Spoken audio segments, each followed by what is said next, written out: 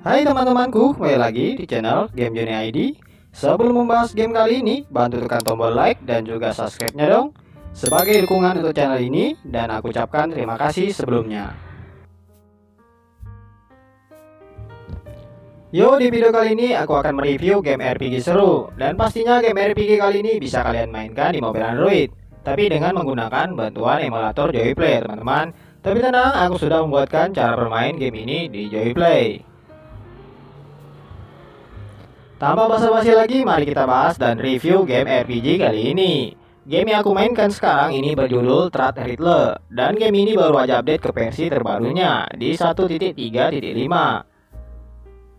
Sedikit cerita tentang game ini, di sini kalian akan bermain sebagai anak seorang raja yang memiliki sebuah kastil yang sangat megah.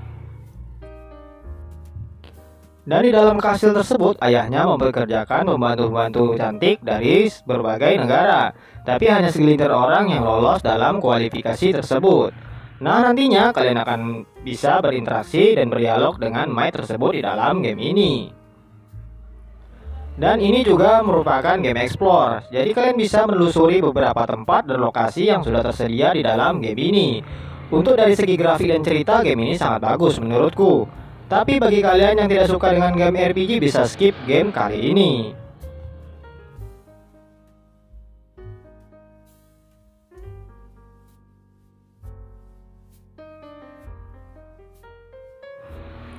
Untuk event-event di dalam game ini juga sudah lumayan banyak. Kalian akan bisa mendapatkan event dari tiga pembantu tersebut.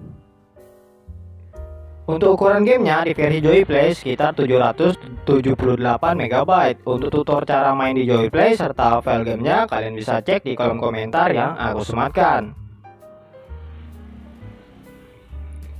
Info buat kalian, jika kalian ingin bermain game-game yang aku share, usahakan sisakan memo internal kalian sekitar 1,5 GB dan RAM 1 GB dan minimal Android 9 sampai 13. Jika game tidak bisa terpasang, anggap aja game tersebut tidak support di smartphone kalian. Terima kasih.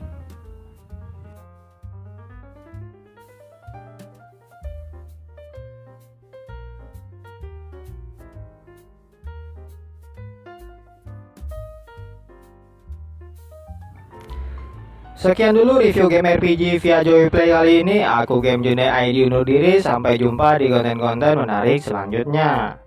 Jangan lupa subscribe pastinya.